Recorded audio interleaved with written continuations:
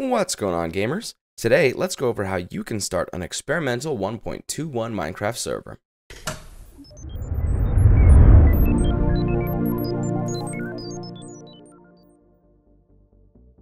Every year, Minecraft releases a new version of the game with minor to staggering changes, typically around June.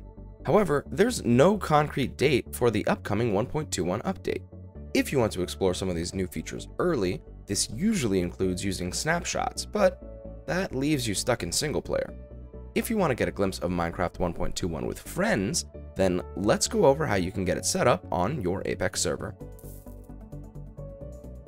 Once the official version of Minecraft 1.21 is released, there will be dedicated servers available for it, but in the meantime, you have to use the latest update and configure specific settings to get the upcoming features.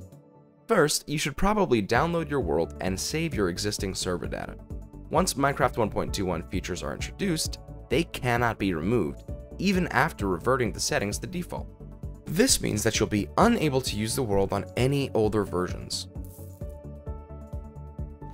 Before setting up Minecraft 1.21 features on your server, make sure you're using 1.20.3 or higher, since older versions won't support it head towards your Apex server panel and click the stop button at the top.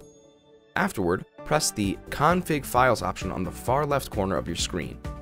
On the next page, proceed to select server settings from the list. While viewing this area, scroll down and locate the initial enabled packs option. Change its values to vanilla, update underscore 1 underscore 21, bundle, and then click the save button. When you're finished, Confirm this by pressing Restart Now in the prompt. Now, in order for the changes to take effect, you're going to need to generate a new world. So go ahead and do that, and then you're going to restart your server one more time. The primary Minecraft 1.21 features are trial chambers and breeze mobs, along with decorated pot functionality.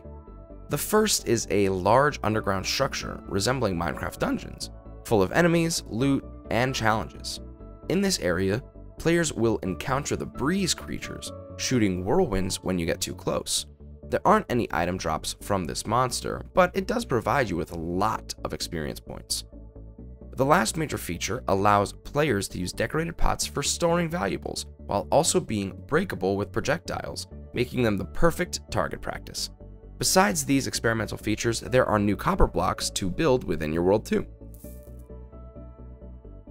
Now before we get on to the common issues, please consider leaving a like, subscribing, and ringing that notification bell, that way we know this is what you like to see.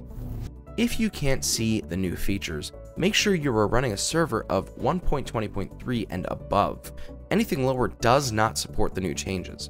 You can do this by changing the game version in the game files section of your panel. If you can't remove experimental features, remember, any worlds using experimental features cannot have them removed. With this in mind, the only options for removing them are a restoration from previous backups or creating a new map.